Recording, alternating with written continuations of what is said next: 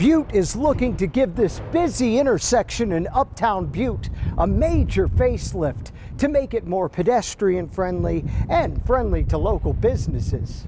The more that you make it a friendly place for people to walk around, the more business you're going to generate. So, and that's that's what the goal is here. Butte is taking bids to put in bulb out curb extensions at the intersection of Main and Granite Streets. The extended curbs would include greenery, bike racks, and benches while making the crosswalk shorter for pedestrians.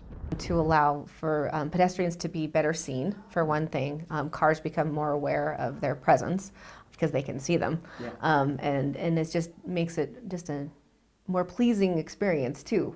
Clearwater Credit Union is building a new building at this intersection and it plans to improve its sidewalks with a bulb out curb.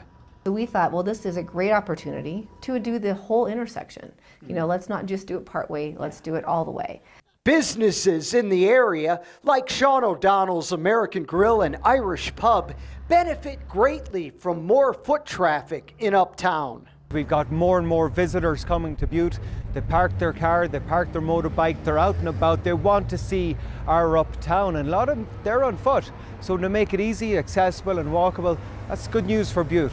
Officials estimate the project at about $300,000 and could get started on it this fall if a bid is approved.